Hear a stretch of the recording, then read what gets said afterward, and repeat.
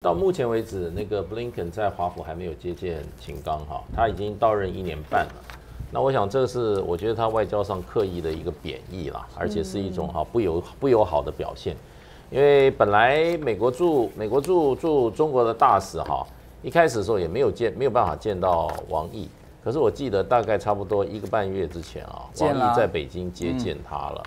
那这个情况之下，这个大家讲这种对对等，英就是说回聘啊，这个英文叫 reciprocate，这个在外交上很重要。你做了这个，我就 reciprocate，我就相对的回报你啊。可是美国到现在还没有这样做，可见美国啊，我觉得他们这个目前的这个外交手腕啊是有问题的。外交是基本上啊是不要走到死结里面去的，而且哈一定要哈，这个从某种程度上来看来看的话啊。那就是极度不友善，极度不友善。那我不晓得，就是说秦刚他在这个说啊，要回回北京之前，布林肯会不会在在在这个华府哈，以他驻美大使的身份啊跟他见面？我我我觉得还还有几天，不晓得如何。不过秦刚，你刚刚介绍他的那个资历哈，洋洋洒洒，其实他最重要一项资历你刚刚没提到。我认为他最重要一样资历就是哈。外交部礼宾司司长，对啊，跟那个习主席一起出去访问的时候，对，因为虽然这个职位只是司长级哈，可是他是可能外交部里面哈最有机会啊跟这个哈习近平哈一起接直接接触，而且长时间接触的。你知道这些国家元首哈这种高层官员哈出国的时候心情都特别好，为什么？因为他在国内的时候事实上是日理万机，压力很重。OK，他光坐上飞机过一个这个洲际的哈。非常十个小时的飞机啊，他可以睡得非常非，他可以哈睡得非常的舒服。所以事实上，很多这些哈国家领导人很很很喜欢出国，对他来讲是一个比较轻松啊有趣的工作。那这个里面，秦刚正好做这个礼宾司长，我觉得他跟这个习近平之间啊建立了哈非常密切的一个关系，真的是他在这个哈中国大陆那么多外交官里面啊，他是真的是运气最好的。那当然他自己本身会做李明市长。这个哈也是相貌堂堂嘛，通常去做李明市长都要挑外形的，所以又我想也得到这个哈习近平的肯定。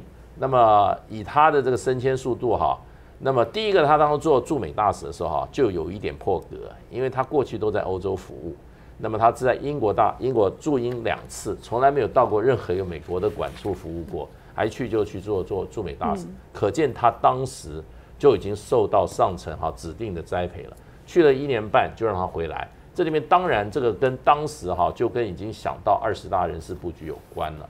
那这个王毅哈非常的能干，他这个这个哈呃建树非常的多，可是年事已高。那么他这个日常的这种冲刺，第一线的折冲哈，他哈他就要交出来了。他去接谁呢？接了杨洁篪的棒子，对，到杨洁的棒子，那就更是接近成风了。就跟这个，尤其在这个他过去哈，除了这个外事办对外事务办公室，王毅很熟悉啊，这个台湾事务，他做过这个国台办的主任，所以他把这个杨洁篪的两个帽子都接下来哈，他比当时杨洁篪还要更更占优势，就是台湾事务他也非常的娴熟，所以现在这个习近平的做法看起来，他这个都是非常老练的老手在负责重要的工作哈。像这个王毅就是一个例子。接下来这个这个，我觉得这个秦刚啊，他在美国这个一一年半的这个震撼教育哈，我觉得最主要他要能够了解美国这个民族性，跟他那种哈政治体制的运作。我想一年半在华府时间并不长，而且他中间还有时间，我看他常跑出去什么跑到艾瓦去演讲啊。其实，在华府是一个完全的一个权力斗争的一个场域。那么他在那边如果说能够哈真正深刻体会的话，我想他以后掌握美国政治、美国政客的心态哈，应该可以掌握的不错。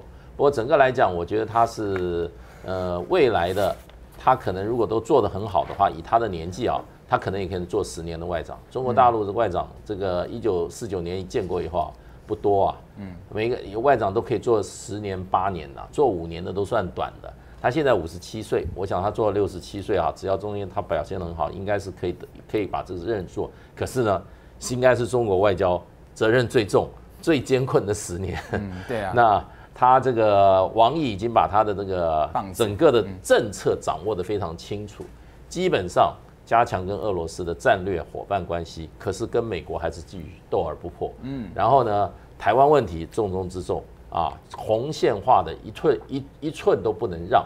所以我觉得这些这个大的大的这些政策啊，有王毅在幕后帮他掌舵哈。嗯，我想他应该可以哈。这个这个对对一个这个比较呃，并不是历练还很完整的一个一个一个外交官来做做中国大陆外长来讲，我觉得他也是运气不错，有王毅帮他哈顶在那边。那他站在第一线，我觉得就会跟王毅一样，可能要要要一年到头啊，风尘仆仆，到处哈。除了陪着元首出去外交之外，他自己还有很多这个出访的任务，可能一年三百六十五天啊，可能啊有两百六十五天啊都在这个好都在这个世界各地穿梭，所以我觉得他攻逢其胜啦。那我也是职业外交官，我蛮羡慕他有这个机会的，嗯能够挑起大梁啊，是，然后把他的才学哈能够这个充分的。施展一下，嗯，对啊，其实也可以预告一下，因为呢，我们都知道，中国大陆外交官的外交部长每次开年的第一个出访就是什么？是非洲啊，就是重视非洲。所以呢，我相信呢，哈，这个秦刚未来也即将会访问非洲嘛，哈。尤其来看到哈，这个呢新的布局。呃，亮哥，您怎么看？针对台湾的部分，宋涛要接任是国台办主任哈，然后呢，他也被讲说曾经担任外交部的副部长，中共中央外事办公室的副主任哈，然后也被说外交层级最高、历练最丰富的一位，显示中国大陆啊要提高对台工作的重视的程度。好，台湾这边也是呢，针对中国大陆非常熟悉的王张五岳老师哦，他说呢，由副国级的宋涛出任正部级的国台办主任，显示对台湾议题的重视程度是上升的。好，那他其。其实呢，跟习主席在当年呢，在福建呢也有哈工作有些重叠哈。好，那看到呢，针对台湾议题，因为美中关系哈，呃，就会扯到台湾的问题。那台湾的兵役呢延长一年，到底我们美国压力呢？十二月二十七号的时候，蔡英文说呢，哈，要从四个月的这个呃义务役啊，哈，变成一年哈，二零二四年的元旦生效。好，就是呢，二零零五年出生的这些开始役男就是如此。他讲的这些关键，备战才能避战，能战才能止战。只要台湾够强，青年就。就不用上战场，无比困难的决定。好，他也强调说没有美国压力，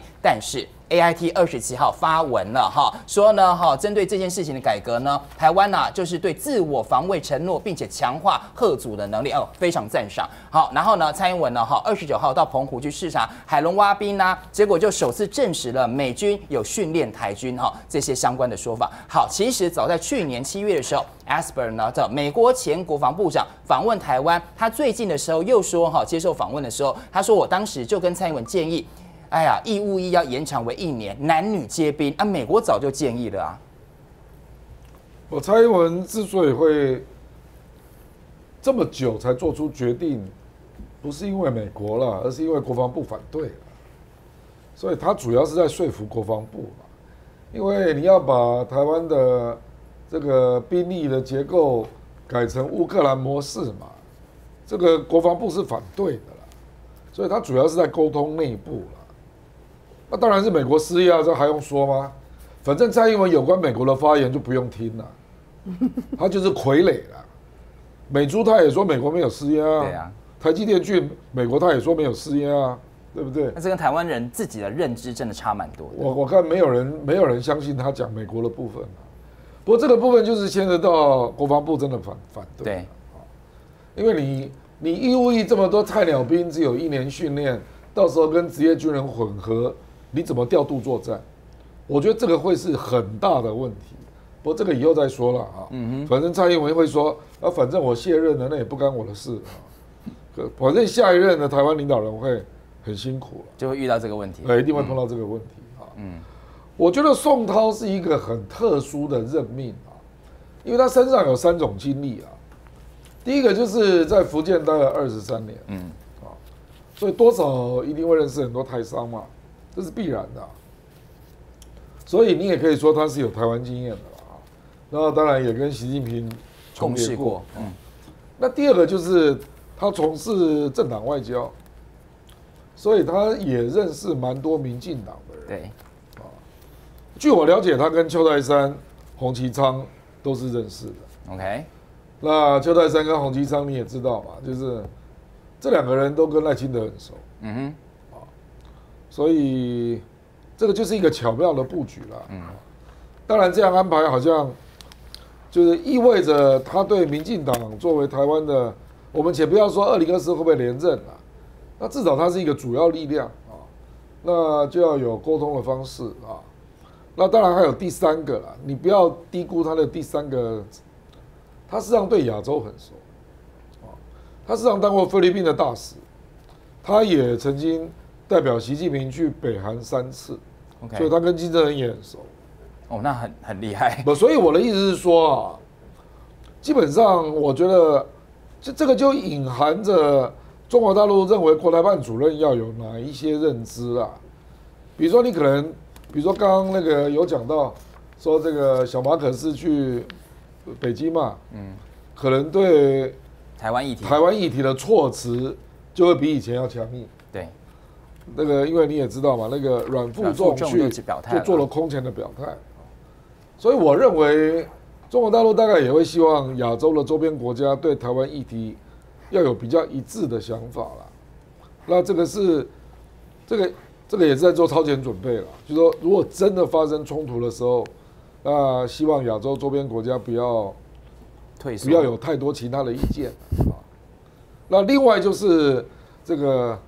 这个我们说他的政党外交的经历嘛，所以他他实际上认识很多各国的政党的领导人啊，啊，所以所以我觉得他可能会，他可能看问题就会有，他跟刘杰义比较不一样啊，刘杰义就是纯外交官，那他可能就会有比较多面的思维了，嗯，比如政党的政治思维，亚洲的角度，然后还有这个福建省待那么久的角度啊，还有对民进党的了解的角度。大概是这样。嗯，对，好，那尤其是大家都知道说哈，台湾的这个议题哈，会牵动的是中美的关系。那尤其来看到现在呢，美国的部分哈，又在呢打台湾牌吗？尤其拜登二十九号有签署二零二三年财年的综合拨款法案，提供台湾的二十亿美元哈，需要偿还的军事的融资贷款。好，NDAA 更别说哈，也签署了哈，要给台湾五年内提供了一百亿美元的无偿军援哈，每年最多二十亿的美元。呃，倩姐你怎么看？因为美国其实呢，也有一些哈。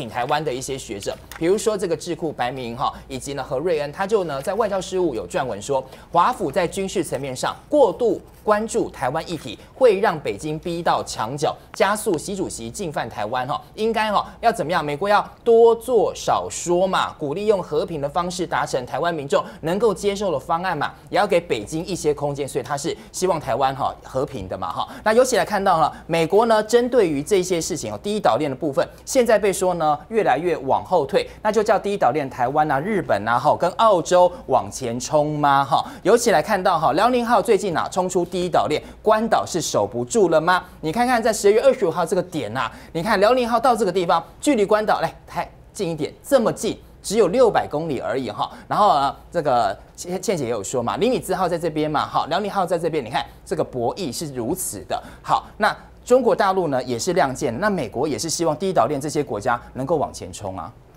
嗯，我们如果仔细去看二零二二年的话。美国对于中国大陆可能是说好话说尽，但是背后所出的招呢是连绵不绝。所以这个连续出招中间，你仔细去看的话，看起来美国对于中国大陆还是在做一个。攻势的冲突，offensive 啊，它不是守势的冲突。在不同的地方，从呃川普开始，从贸易战开始呢，绝大部分都是美国出招，中国大陆应应的。所以在这个一直不断的攻势冲突的情况之下。最终会演进到真正的冲突的可能性还是存在，这是为什么我们觉得不容乐观，也不容小觑。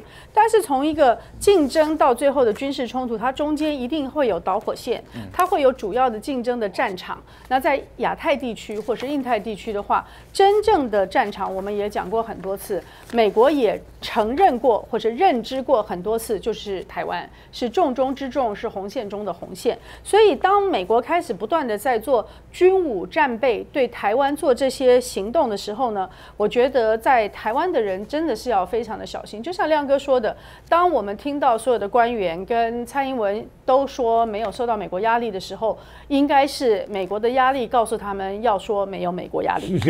所以在这个情况之下，我们仔细去看美中的冲突。突的本质到底是什么？他们常常说这不是冷战，我也觉得不是冷战，因为冷战是一个制度冲突，是他们在雅尔达密约的时候就讲过，在全球大范围之内，无论是在东西德、南北韩、南北越，都是两个制度的冲突，然后用代理区域的方式呢，去比赛哪边赢了，哪边输了。东西德是西德赢了，南北韩、南北越都是另外大家在做这种制度冲突的竞赛，这个是这个是两边认知的冷战，他们没有直接的对抗。可是现在中国大陆对美国做了什么事情，让美国要对他发动呢？我们想了半天啊，真的想不通。因为第一，没有领土边界分配的问题，不像以前北约东扩在乌克兰的确就造成了领土跟边界的问题。第二个。没有国家安全跟区域稳定的问题，譬如说，美国在做门罗主义的时候，就是你们欧洲的老牌强国不要到美国、美洲我们的后院来，那么这个是那种区域中心主义，所以没有国家安全区域问题。中国大陆没有要去美美洲去影响美国的这个主导权。也没有国际组织秩序规则的问题。中国大陆并没有去 UN 挑战美国，没有去 WTO 挑战美国，没有在任何的国际组织挑战美国，甚至它都是福音原来美国所建立的有秩序的、有规则的国际秩序，都是福音那些东西。所以你看，这次王毅也说嘛，全球治理我们要回到这些基本原则啊，就是秩序啦、国际组织啊等等等等。那它到底涉及的是什么？就是涉及在全球大范围之内的影响力。我觉得这就是美国的真正问题，他觉得他的影响力在下降了，而影响力下降的方式，并不是别人用什么军事去掠夺了领土，不像二次大战的时候日本在亚洲掠夺了那么多的领土，而是真正的自然而然发展出来的。刚才讲顺水推舟、顺理成章的那些关系，那些关系是硬的，是实打实的，所以全球范围的影响力改变了，科技的绝对主导权改变了。在我们呃资讯革命的时候，大家都接受美国所主导的资讯革命的秩序。现在怎么办呢？最后是利益分配的能力改变了。因此，美国对于中国大陆不断的出招的结果，我认为在最近会看到的是一边是科技战，因为科技战是军事战的前哨，科技战本身也就是战场。另外，将来的军事冲突还是会越来越多。全球大视野频道开会员喽！邀请全球大视野的忠实观众，前进战略高地看国际直球对决的忠实粉丝，正妹看世界的宝宝们，加入全球大视野到会员，每月固定小额扣款赞助，支持中天继续做优质国际新闻与评论。请您到全球大视野频道首页右上方按下加入键，让我们成为全球大视野 Family。会员有独享福利，快来加入哦！